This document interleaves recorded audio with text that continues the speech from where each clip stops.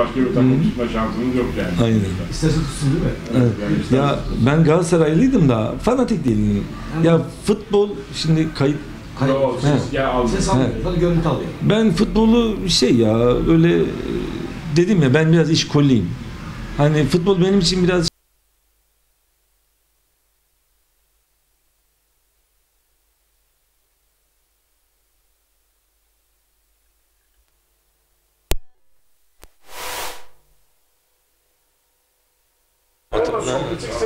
Buradan işin yok. Yani oraya çok bakarsan nasıl çıkıyor, nasıl çıkıyor. Yo, yo. Böyle kaptırırsın. şu anda şey yapıyorum. Ha. Oraya bakmam. Bu da tuhaf oldu biraz. Sen bak şey kendini mesela. Benim kurduğum hata. Evet. Sen başla. Evet, TV8'in Ekonomi Dünyası program ekibi olarak da şu anda da Multi Tekstil'deyiz. Multi Tekstil'in firma ortaklarından Murat Karadağ Bey ile beraberiz. Murat Bey programımıza hoş geldiniz diyorum ben. Ekonomi Dünyası program ekibi olarak. Ee, Murat Bey öncelikli olarak Multi'yi bir tanıyabilir miyiz? Kaç yıldan beri sektörün içindesiniz? Neler yapıyorsunuz? Neler ediyorsunuz? Kaç kişiye istihdam sağlıyorsunuz? Ee, Şu anda bantımızda ne tür ürünler var? Hangi tür ürünleri yapabiliyorsunuz? Bunlarla ilgili olarak şöyle izleyicilerimizi bilgilendirme açısından e, Multi Tekstil'i bir tanıyalım. Sizlerden dinleyelim. Buyurun. Öncelikle size teşekkür ediyorum. Evet. Ee, böyle bir program yaptığınız için. Ee, ben Murat Karada. Yaklaşık 15 yıldır tekstille uğraşıyorum. Ee, gerek fason çalıştım, gerek imalat yaptım. Ee, 15 yıldır işte biz bu işin içinde e, ya hamurduk, yoğrulduk işte unduk, hamur olduk, yoğrulduk. Bu, bu noktalara kadar geldik çok şükür. Yani çok büyük had safhada büyük değiliz ama en azından şu an 50 kişiye bir istihdam sağlıyoruz. Gerek Suriyeli, 4 ile çarpsanız 200 kişi yapar. tabii 200 kişi. Onu da vurduğun zaman zaten zincirlemeye gidersek Tabii, tabii, e, büyük bir şeye çıkar. E, Bantta neler var? Neler dikiyorsunuz? Siz dikim, dikim yapıyorsunuz. biz şu an dikim yapıyoruz. E, fason çalışıyoruz. E, ben yılın 6 ayı mont dikiyorum. Diğer geri kalan 6 ayı da e, kargo çalışıyoruz biz. E, Kargo dediğiniz Kargo e, lastikli, bel paça lastikli pantolon imal ediyoruz. E, yan cepli. yani Askeri oluyor bunun tabi renkleri oluyor. Bir alt grup mu genelde? Alt grup, gene- Hep alt grup mu çalışıyor? Şöyle e, Montta üst grup. yani. mont üst grup oluyor. 6 ay sezon başladığı zaman üst grupta mont çalışıyoruz. Kürklü kürksüz. E, diğer 6 ayda sezon yaza girdiği için kargo hızlı gidiyor. E, kargo çalışmaları yapıyoruz. E, işte haftada 5-6 bin parça burada kargo çıkıyor. Mont sezonunda da 5 bin parça mont çıkıyor. E, işte insanlarla iletişimi sıcak tutmaya çalışıyoruz. Ve bunun yanırsa eskisi gibi kalifiyeli eleman kalmadı. E, yetişmiyor. Siz sormadan ben söyleyeyim Eyvallah. oldu. Kusura bakmayın. E, eski biz eski nesiliz. Çekirdekten yetiştik. 13-14 yaşında bu işe başladık. Ama şu anda e, inanın ki 18-20 yaşındaki gençler bile gelmiyor tekstile. Ya, gerçi sadece tekstile değil. Çok almıyor. Almıyor. Kurtarıyor. Tamam. Sesi mi? Kurtarıyor, kurtarıyor. Kurtarıyormuş. Tamam. Hı. Evet buyurun. Ee, yeni nesil çalışmıyor tekstilde. O yüzden e, personel sıkıntısı yaşıyoruz. He, şimdi Suriyeliler geldi, herkes bir dert yandı, şey yaptı ama onların da rızkı buradaymış demek ki. Bizim de rızkımız onlarla bağdaştı. Benim fikrim bu. Ha, Onlar olmasaydı şu an yeni nesilde tekstilde kimse çalışmazdı ki çalışmıyor. Evet. Herkes farklı sektörlere girdiler. Ne bileyim e, bekçi oldular, güvenlik oldular, belediyelere girdiler. Sokakta çöpçülük yapıyor. Ben diyor e, gidip tekstilde çalışmak istemiyorum diyor. Halbuki bizim mesleğimiz bence bir bilezik. Hani basit görülmemesi gereken bir meslek Tabii. ve ömür boyunca da gidecek bir meslek bu. Hani şu anda içeride 55 yaşında çalışan e, dayımız bile var yani. Dedim ya eski nesil çalışıyor, yeni nesil çalışmıyor. O yüzden bu Suriyelilerde olmamış olsa biz Eleman e, bulamazdık. eleman bulamazdık ve küçülmeye giderdik. E, küçülünce de zaten tatminkar olmuyor bu işler. Hani bir anlamı kalmıyor. Bizim amacımız büyüyüp hedefimiz büyüyüp ülkemize daha büyük e, istihdamlar sağlamak. Hani bugün 50, yarın 200, 300, 500, 500'ü 5 ile çarp veya 4 ile çarpsan 2-3 bin kişiye ve bu 2-3 bin kişi 5 bin, 10 binlere kadar e, sirkülasyon yapıyor. Benim görüşüm şu, e, önce insanlara biraz e, şu işe de biraz yönelmeleri. Hani Şimdi Murat Bey, yönelmeleri dediniz ya, önceden aileler çocuklarını genelde tekstile verirlerdi. İşverenleri derler eti senin kemiği benim. Birleşmeci olsun, Hı. varlıkçı olsun, aynen. Ben çok yetiştirdim. singerci olsun, ne bileyim, e, böyle bir altın bilezik olsun diye çocuklarını hep ben okul zamanı okula giderlerdi, yaz tatilinde de böyle tekstil atölyelerine giderlerdi. Fakat şimdi o durum kalktı. Aynen. Bunu neye bağlıyorsunuz? Şimdi bu e, dedim ya yeni nesil e, biraz e, okul açısından mesela okullar liseye çıktı. E, eskiden ortaokuldu. Şimdi herkes çocuğunu liseye kadar okutuyor. Liseden sonra çocuk kalkıp da gravatı çıkartıp gelip burada konfeksiyonda makineye oturup veya ortacılık yapmak istemiyor. E, tatmin etmiyor onu. E, bunun yanı sıra şimdi herkes rahata alışmış. Şimdi böyle gidersek daha çok rahat alışacağız ve ülkede şey kalmayacak, e, üretim kalmayacak. Herkes okursa, e, ne bileyim, herkes memur olursa, herkes bekçi olursa, herkes polis olma, öğretmen olma peşinde giderse e, bu alttaki yapılar ne Üretimi olacak? kim yapacak? Üretimi kim yapacak? Yani anca bekleyeceğiz ki bir ülkede Allah göstermesin tabii. Bir ülkede de bir sıkıntı olsun yine kapılarımızı açalım gelip bize destek olsunlar.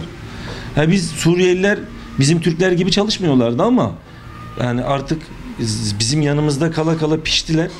İyi kötü bir şeyler öğrendiler.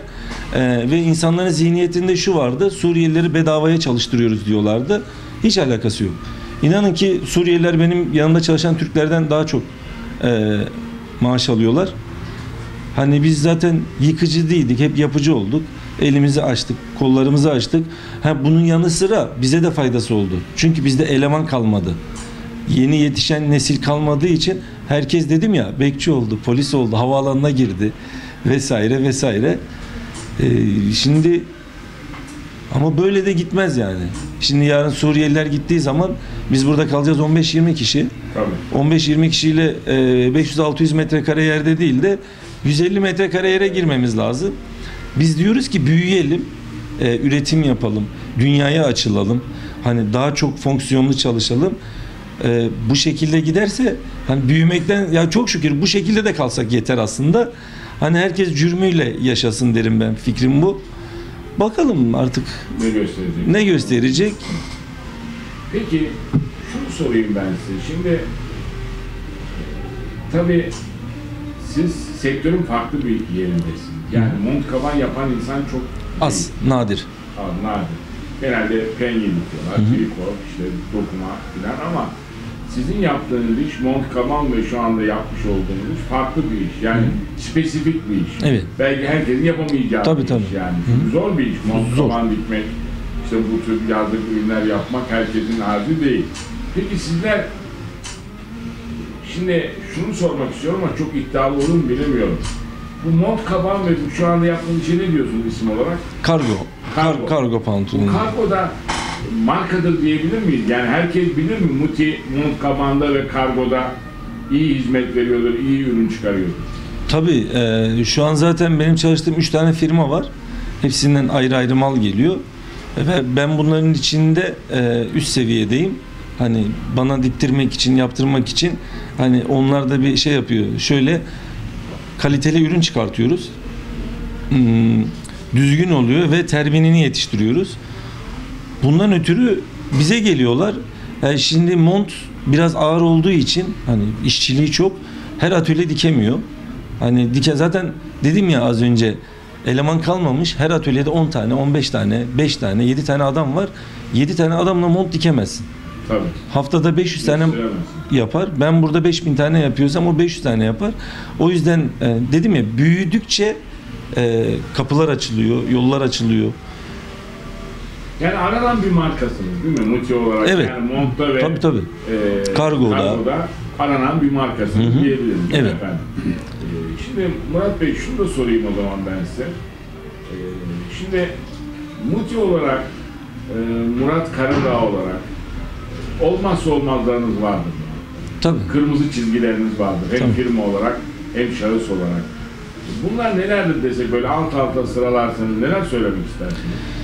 Ya bence şu an e, primler biraz yüksek. SSK primleri. Şey. Olmazsa olmazlarınız, kalite, müşteri memnuniyeti bunları alayım sizden. Yani e, multi tekstil olarak nelere dikkat ediyorsunuz üretim aşamasında, sunum aşamasında ki e, bir marka olmuşsunuz, aranan bir firma olmuşsunuz. Yani diğer firmalardan sizi ayıran belirgin özellikler nelerdir desek, neler söylemek istersiniz?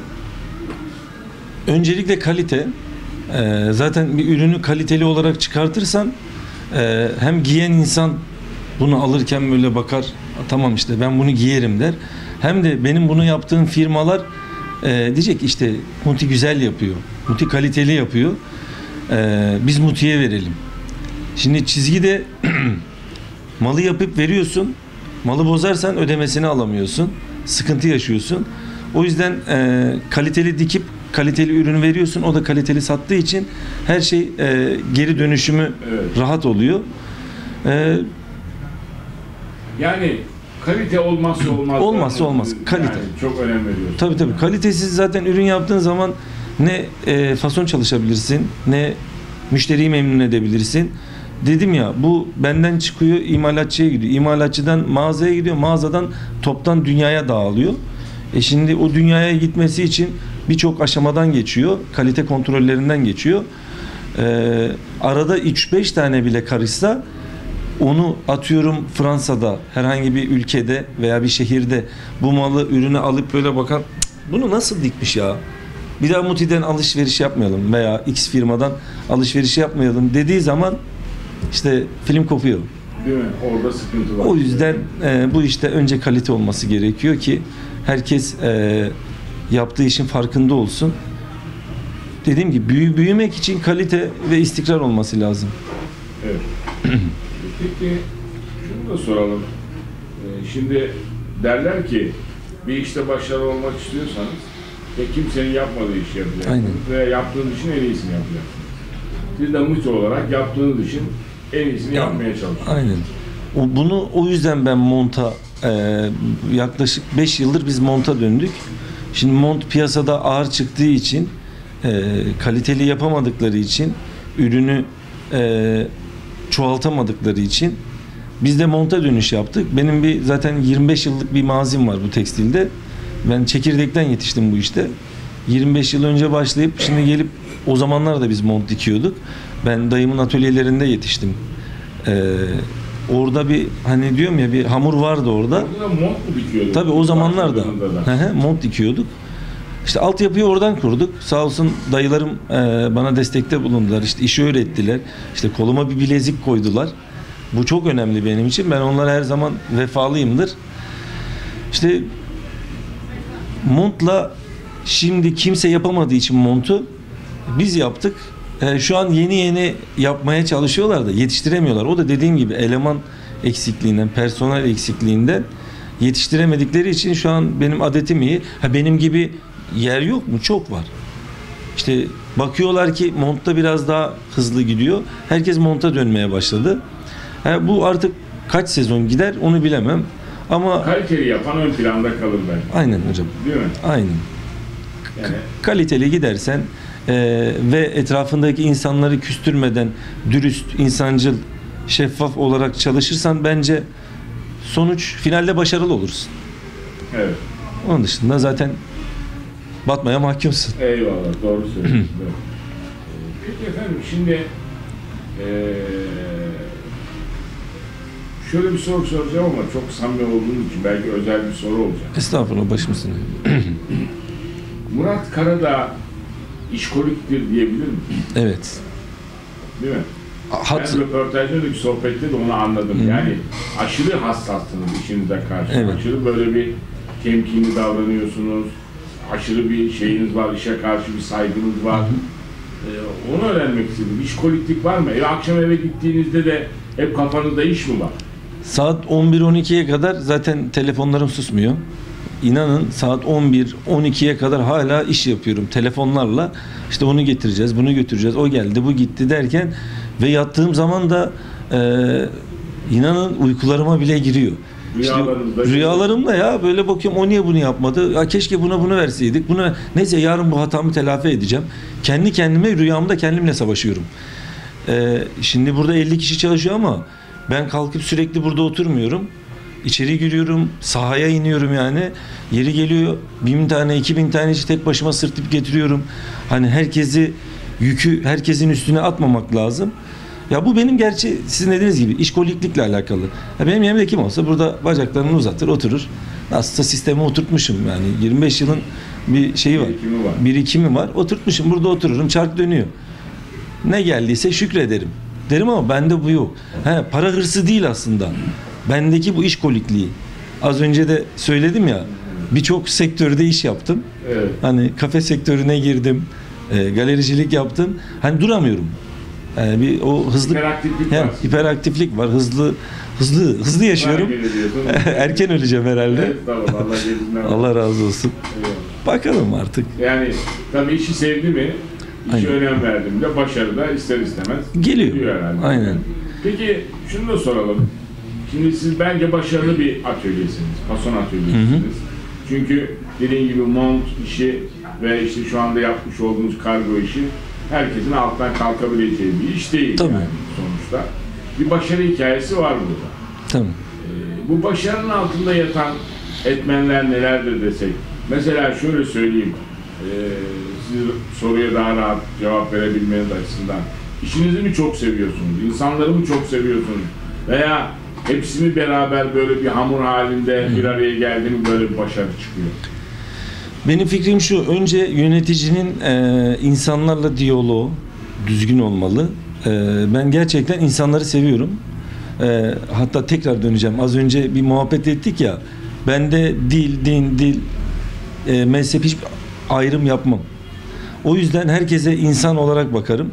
Hani Suriye'deki çamura düşmüş çocuğa bile ben buradan kamyonlarca yardım gönderiyorum. Sadece kendim değil, topluyorum. Ee, insanları seversen bence her şey insanlarla oluyor. Ee, insanları sevmezsen de zaten başarılı olamazsın.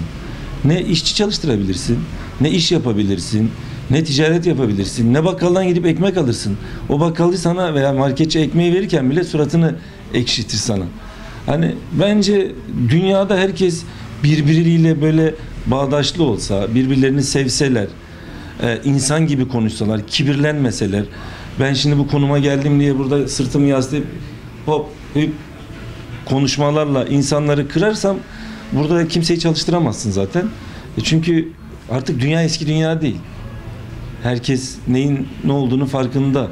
Ben de bulunmaz Hint kumaşı değilim. Onlar da değil. Yani en güzel şey diyalog bence. Diyaloğun düzgün olursa içerideki e, kaliteyi de düzgün yaparsın. İnsanlarla da düzgün olursun ve ödemelerini düzgün yaptığın zaman insanların onlar hem ödeme hem sıcakkanlı bir patron hem Onu soralım. Sözünüzü böldüm ama Murat Karadağ nasıl bir patron? beni bunu bana değil de içeridekilere sorsak Soracağım zaten. Sizden alayım dedim.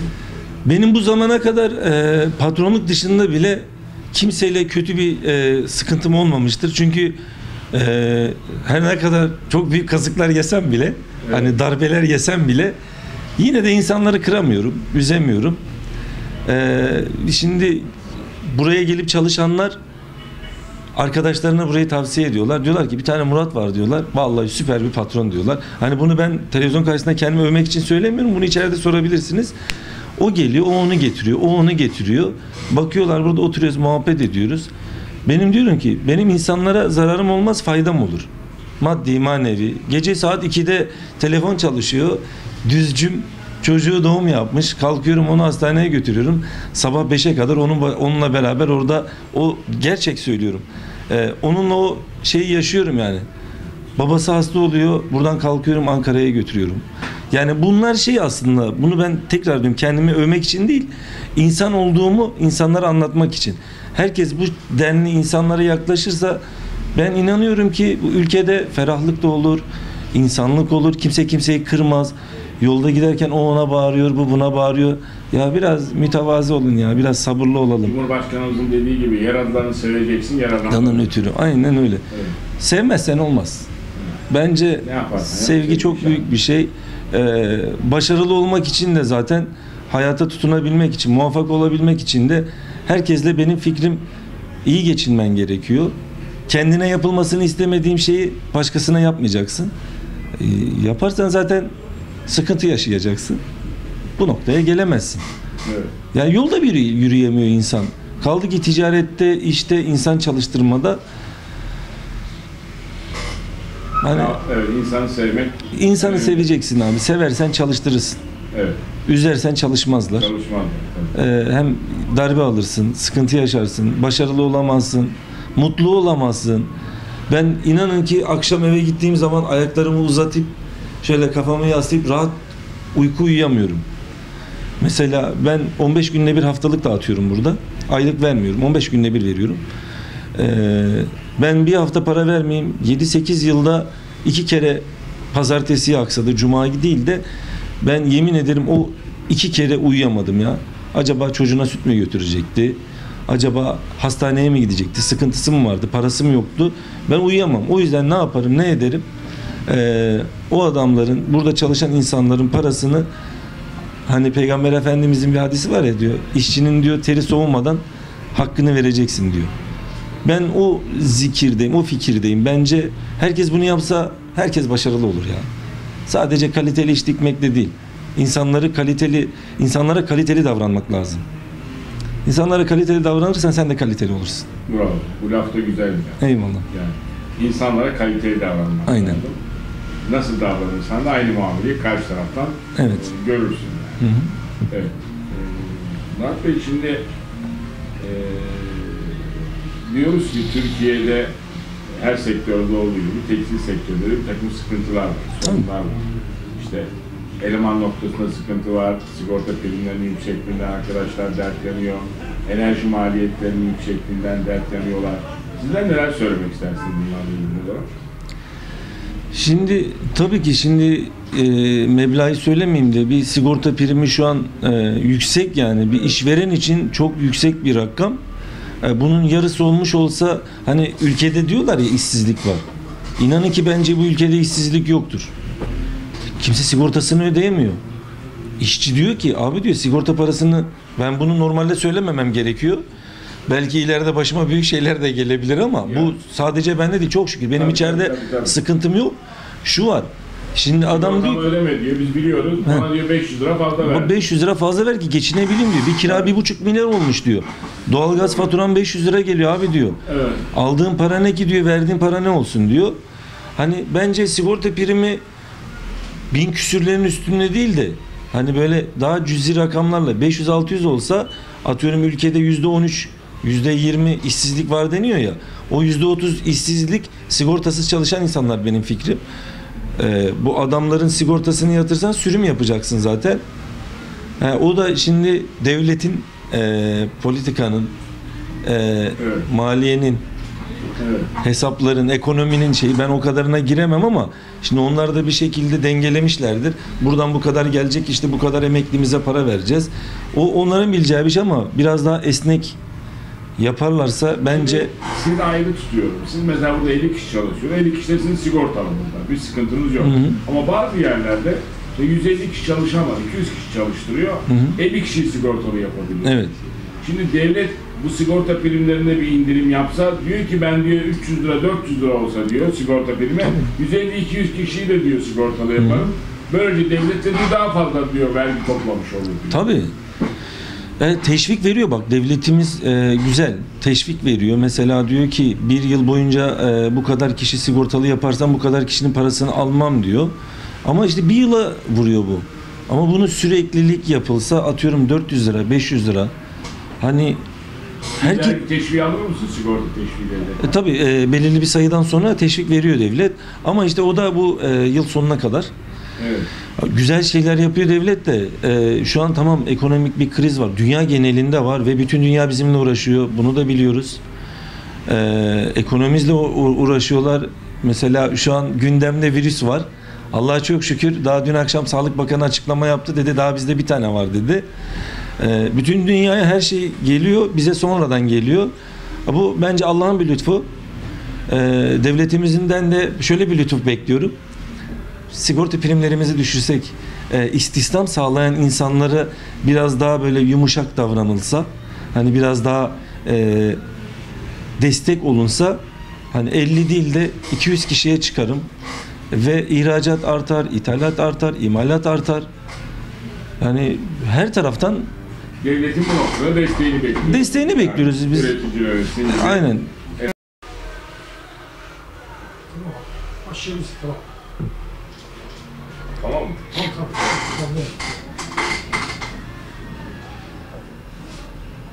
Evet. Şimdi e, Murat Bey dediniz ki devletin bir takım desteklerine ihtiyacımız var dediniz. Yani işte bu sigorta primlerinde olsun, enerji maliyetlerinde olsun. E, şimdi ne gibi mesela destekler? Mesela sigorta primleri ne kadar olursa firmalar bu noktada daha rahat, daha fazla eleman çalıştırır. Bence bir sigorta primi 400-450 liranın üstüne çıkmaması gerekiyor. Hani o civarlarda olursa şu andaki işsizlik bence ortadan kalkacaktır. Çünkü herkes herkes kendini sigortalı yapmak isteyecektir. Herkes sigortalı çalışmak isteyecektir. Gerek sağlıktan gerek emeklilikten faydalanmak için. Ama şu anda bence e, kimse sigorta çalışmak istemiyor. Çünkü primler çok yüksek. Ee, enerjide de mesela biz burada istihdam sağlıyoruz. Bizim elektriğimizin, suyumuzun daha bir e, aşağıda olması gerekiyor. Normal bir bina altı dedik ya az önce. Bina altında ki iş yerlerine 300 lira 400 lira elektrik faturası gelirken bize geliyor 3000 liralarda. Evet. Hani bunlar da bize sanayisel olarak bir destekte bulunulsa, sigorta primlerinde destekte bulunulsa bence herkes sigortasını yaptırmak ister. İnsanlar da yaptırmak ister. Niye ben sigortası çalışayım? Ama şu an insanlar diyor ki abi diyor sigorta primimi ödeme bana 500 lira fazla ver. E benim bir buçuk bin lira kiram var. E 500 lira faturam geliyor.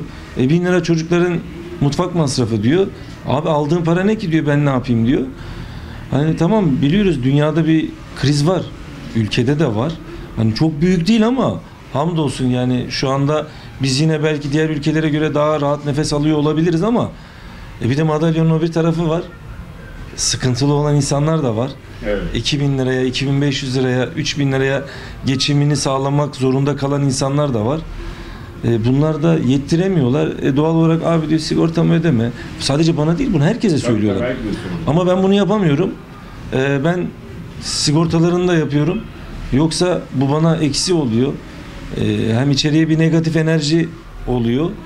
Hem benim Ya akşam başı yastığa başınızı koyduğunda rahat uyuyorsunuz. aynen öyle. Yani. İşte devletimizden istediğimiz primleri biraz düşürmeleri, e, işverenlere istihdam sağlasınlar diye e, biraz daha destek. Hani derler ya e, tabiri caizse köstek olma destek ol. Evet. Bizim de istediğimiz hani destek. Ya ne köstek ol ne destek ol. Bırakın da yaşayalım diyelim bari. Eyvallah, eyvallah. Peki Murat Bey, şunu da soralım size son olarak. Multitext olarak e, ileriye dönük hedefler vardır muhakkak, projeler vardır. Var. Hiç kendi markanızla üretim yapmayı falan düşündünüz mü? Veya daha büyük entegre mesela hem kesim hem dikim hem bütün paket hepsi bir arada böyle entegre bir tesis falan hedefliyor musunuz? Neler var? Hedefim vardı. Ee, geçen yıl onu bir e, masaya yatırdık. Ee, büyük bir e, yer kurup e, zaten Muti'nin e, patentini aldım. Ee, onu imalata çevirip kargo, mont e, vesaire pantolon, jean. Ee, benim hedefim komple şapkadan çoraba kadar. Hani bizim bir milyoncular var Malatyalı bir milyon eldiven, Eyvallah. eldivenden merdivene derler. Eyvallah. Ben de şapkadan çoraba kadar diyorum. Kendi markamı üretip dünyaya hani reklamımı yapıp büyük ihracatlar yapmak istiyorum. Ve şu an altyapılarımla uğraşıyorum. Hani masada her şey. İşte diyorum ya e, bir yerden bir şeye başlarsın. Oradan bir şey çıkar. Önüne bir ambulans çıkar. Mecbur yol vermek zorunda kalıyorsun. Tam gidiyorsun itfaiye çıkıyor. Tekrar yol veriyorsun. Ondan sonra polis de geldiği zaman elleri havaya kaldırıyorsun. Eyvallah. İşte bu sıkıntı. Şu anda da bir koronavirüsü çıktı. E tam bir hareket edeceksin. E, şimdi insanlar gerçekten korkuyor. Eskiden dolar yükseldiği zaman eyvah 3 ay boşa çıktık diye derlerdi. Şimdi de virüs çıktı ya. Diyoruz ki e, şu an bir yatırım yapacağız, bir şey yapacağız. Patlayabiliriz. E, hani olanı da kaybedebiliriz diye şu an oturmuşuz. E, Bekliyorsun. bekliyoruz, kaşıyoruz Kafayı kafamızı, düşünüyoruz. Evet. Hani Rabbim herkesin e, yolunu açık etsin.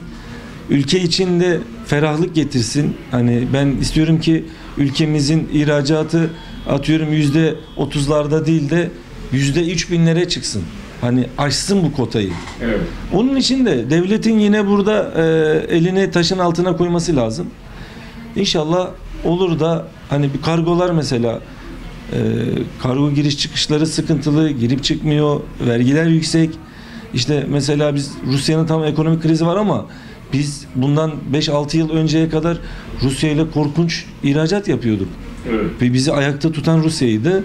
E, Arap Baharı zaten Araplara da gidiyordu ama baharı getirdi sağ olsunlar dış güçler. Bizim bahar oldu kış Oldu. kış oldu. Evet. O yüzden Araplara da çalışamıyoruz. Asya'ya da çalışamıyoruz.